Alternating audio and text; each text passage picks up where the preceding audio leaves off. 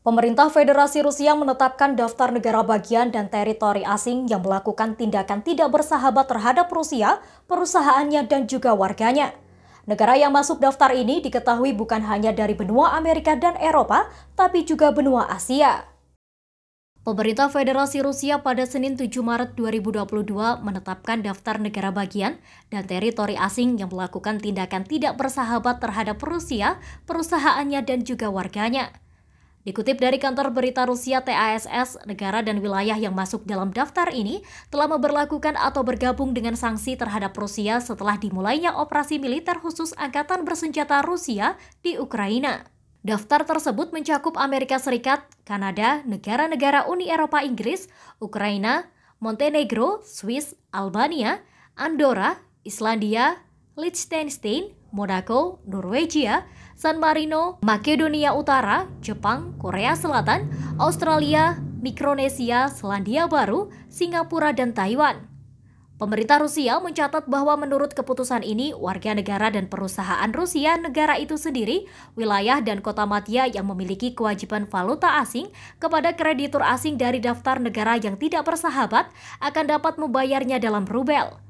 Prosedur sementara yang baru berlaku yaitu untuk pembayaran yang melebihi 10 juta rubel per bulan atau jumlah yang sama dalam mata uang asing. Seperti diketahui, sejak memulai invasi ke Ukraina, Rusia terus mendapatkan sanksi baru dari berbagai negara lain yang mengancam tindakan tersebut. Sanksi bahkan ada yang langsung menyasar politisi, pejabat, dan oligarki di Rusia.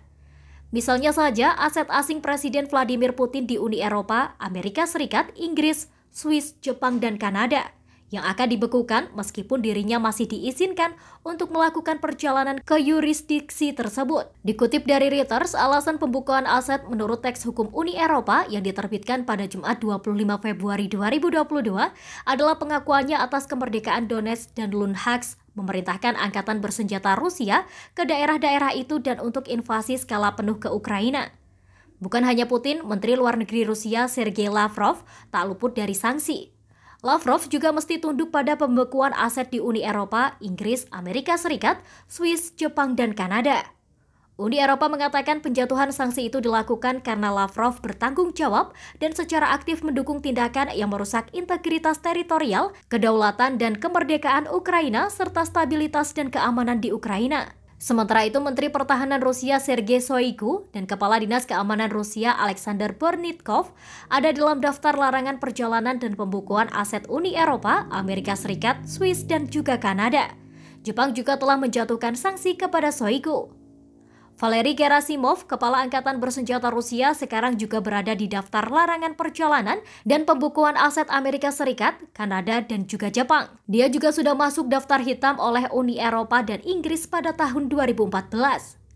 Bagi parlemen Rusia, Uni Eropa, Swiss, dan Kanada telah menjatuhkan sanksi pada 351 anggota Duma Rusia yang memilih untuk mengakui kemerdekaan Donetsk dan Luhansk, menempatkan mereka pada larangan perjalanan dan juga daftar pembukuan aset. Inggris mengambil tindakan yang sama dan memasukkan anggota Dewan Federasi yang memberikan suara mendukung.